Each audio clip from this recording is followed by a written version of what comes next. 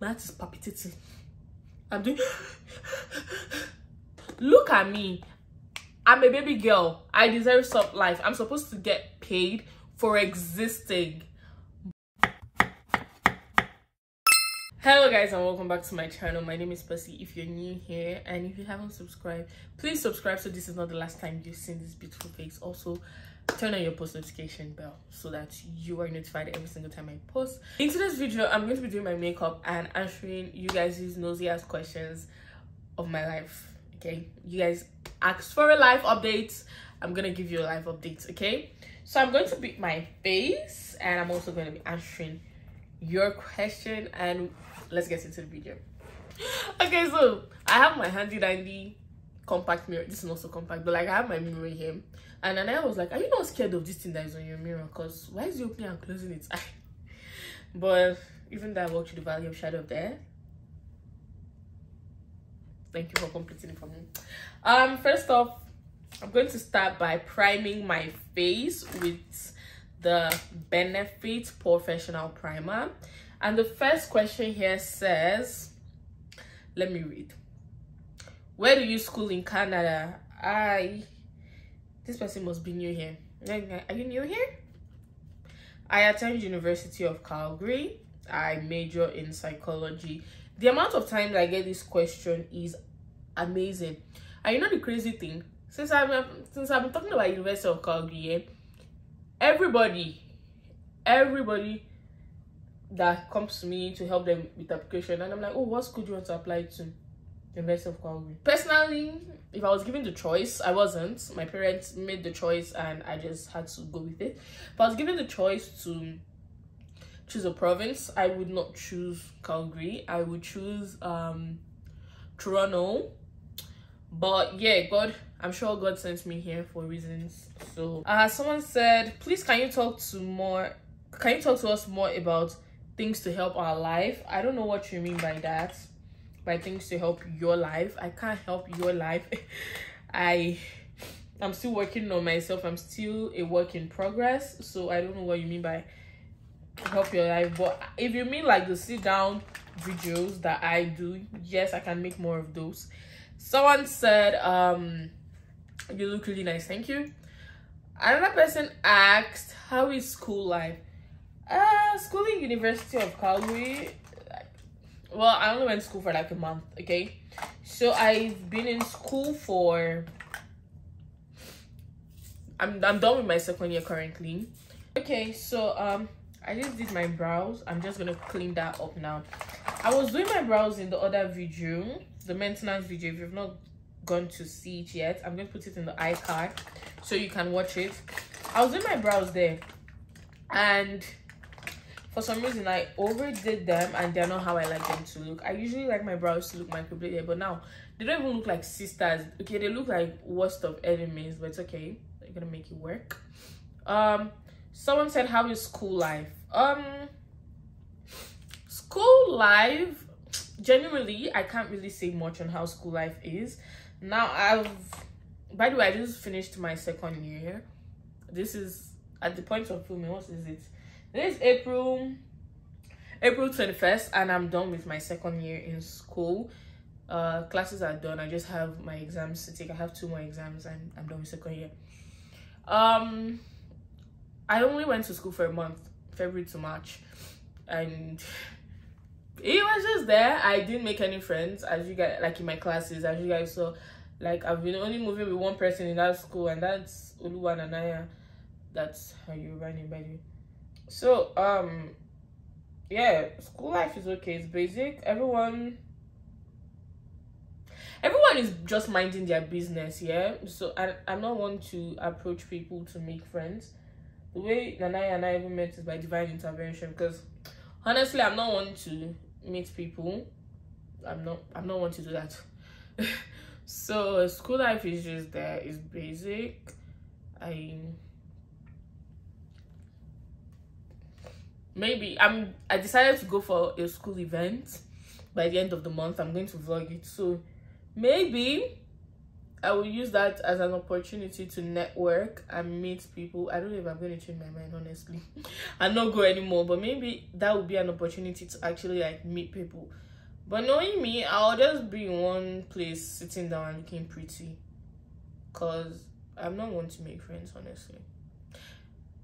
So yeah, school life is just basic. But you guys are going to watch the Melanite um the Melanite content because I'm going to put it out. I'm going to vlog. I already have my outfit. I have my hair.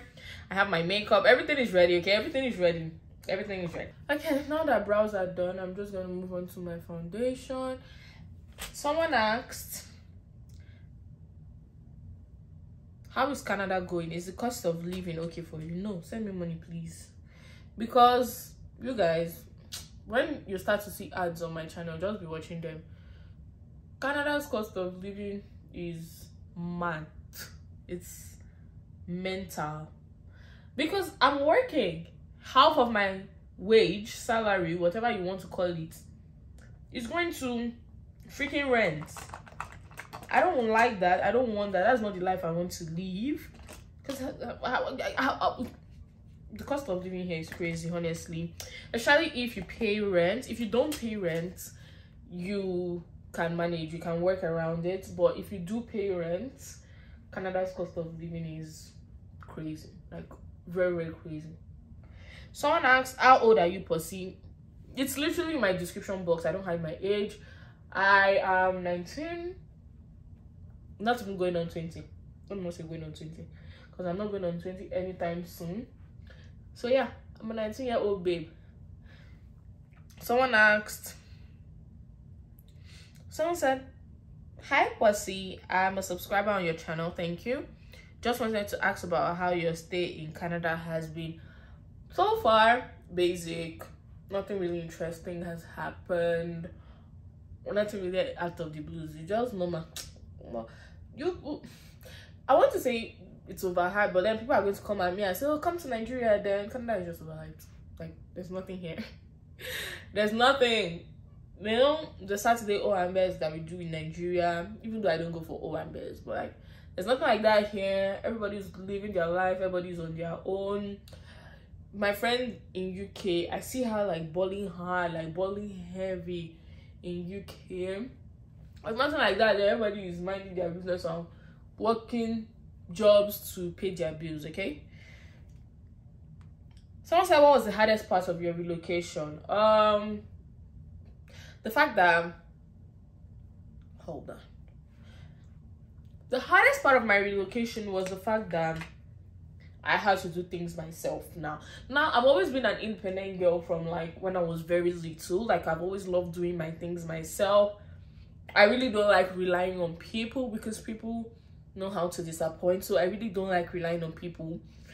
But doing things myself, like realizing that if I don't wash the plates in the sink, no one's gonna wash it if i don't do my laundry no one's gonna back home i just tell my sister hey it's, it's your turn to do laundry we used to have turns yeah and we'll do each other's laundry so i just tell Area, yeah babes it's your turn to do laundry and she would handle it but i think i won't call it hard but yeah that has been one of the hardest part. And then the time difference. So i barely get to keep up with my friends. I barely I, I keep up my family very well but i barely get to keep up with my friends. And i really love my friends. I don't have much but the ones i have in nigeria i really love them and cherish them you know. And the time difference on being unable to call them just being unable to see them all my friends and i we literally lived in the same area so it was like what 100 naira bike to each other's house from one place to one place, 100 naira bike, one place to one place, and 100 naira bike. So all of us live in the same area and being unable to see them, everybody is where they are now. The ones that are in UK and UK, the ones that are in America in America, everybody is doing their thing, and I'm so happy for all of us. But being like unable to see my friends for weeks to months on end has been the hardest part of my relocation and being unable to you know just have time to call them. When i got here and i was very much jobless and i hadn't gotten a job it was very easy to keep up. Yeah i could be awake by three but now like i have to be awake by this time and because of the transit you have to wake up like two hours earlier just so you can get the transit. It's just been crazy and i think that has been the hardest part of my relocation being um transitioning from talking to my friends like 70 times in a week to two times in three weeks. It's crazy. Very much crazy and that has been very hard.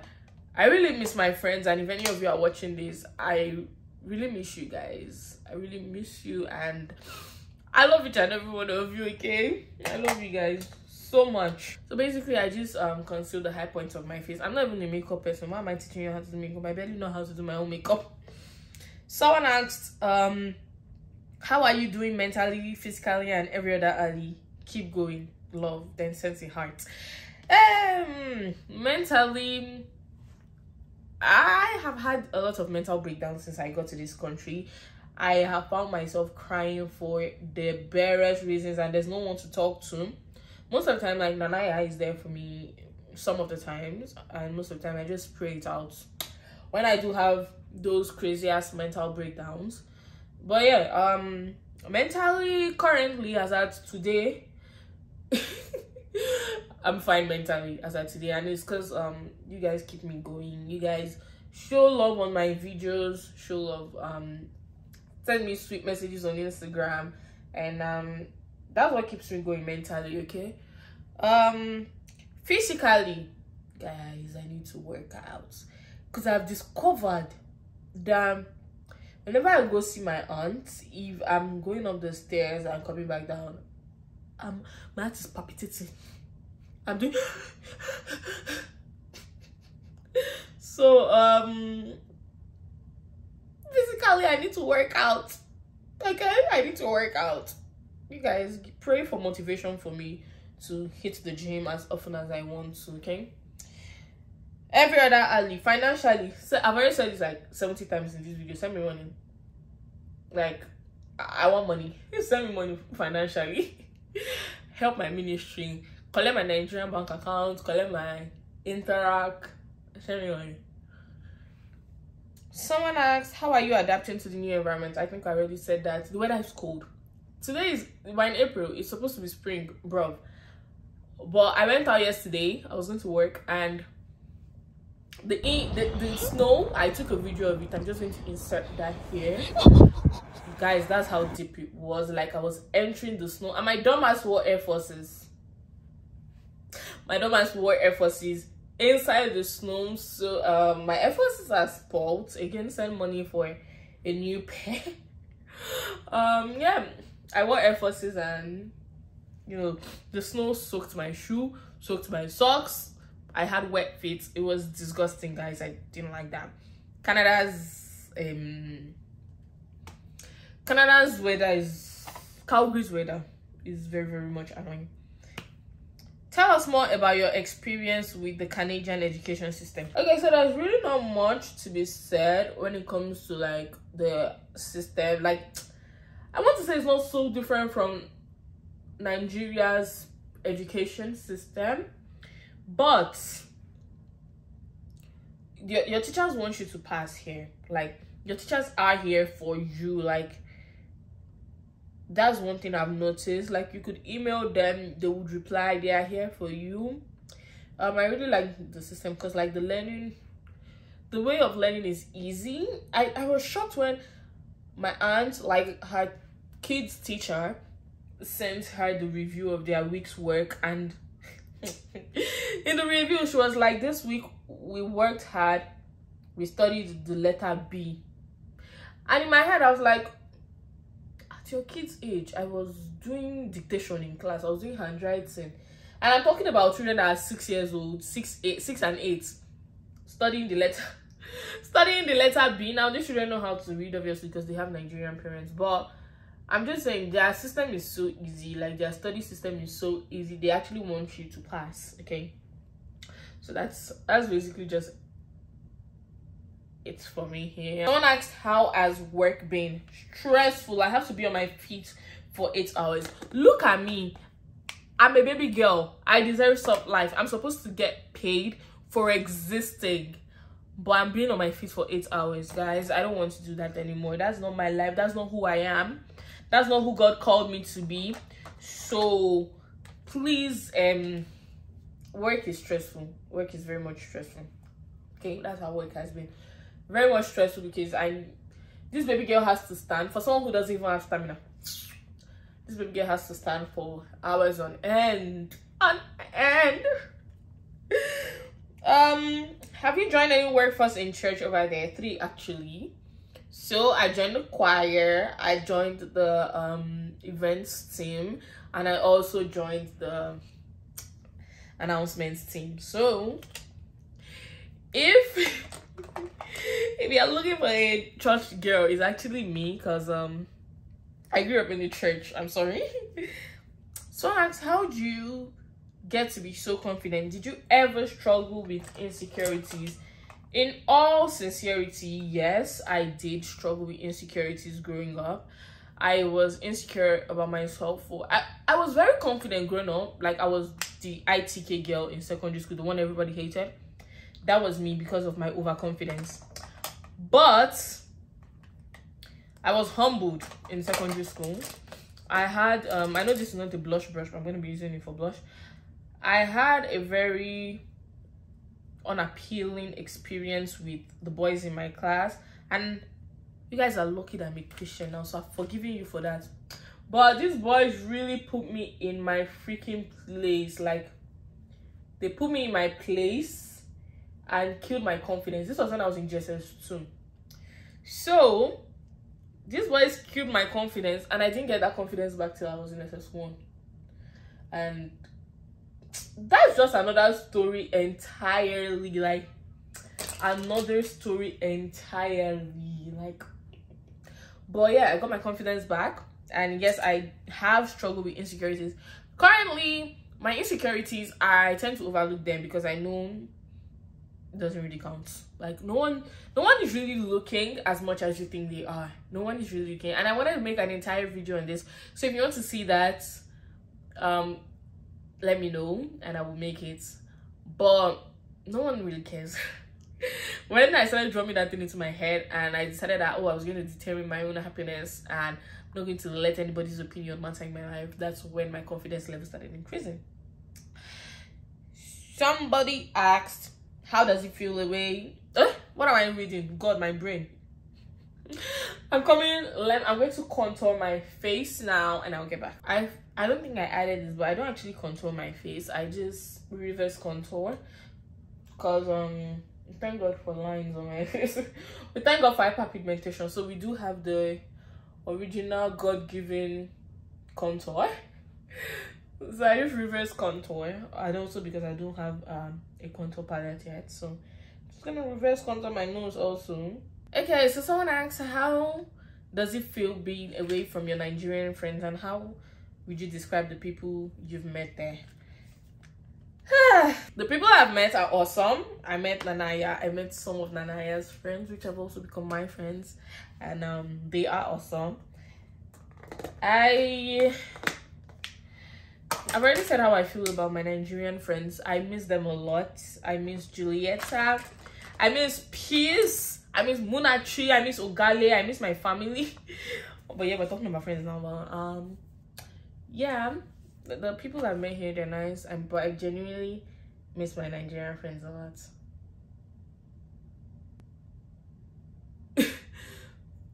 so, okay. So, I just like my lips. And someone asked, uh, are you a? So, I don't know how this lip looks on camera. But in person, it looks really good. And I really, really like it so um i'm just gonna answer the last question which reads i already said um are you in a relationship bro i've been here for like what three and a half months.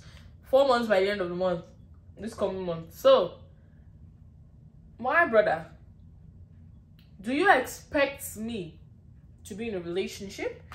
Do i look like i'm interested in being in a relationship? Do i look like I want people to want me to be in a relationship? I'm just kidding. No, I don't want a relationship. That's why I'm not in a relationship yet. Okay. And um I genuinely just don't want a relationship, please.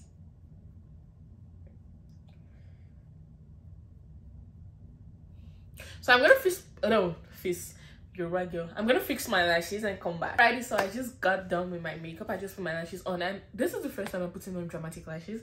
I got these from Amazon. I got this like 20 pack. This are the ones I'm wearing currently. And bro, y'all ain't tell me I'm I was never a fan of dramatic lashes.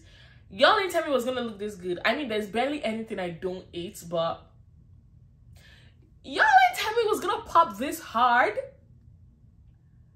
oh brother get ready to get tired of me with dramatic lashes. Just get ready to get tired of me. But anyways thank you guys for watching this video. Hope you enjoyed. I know it was a little bit all over the place.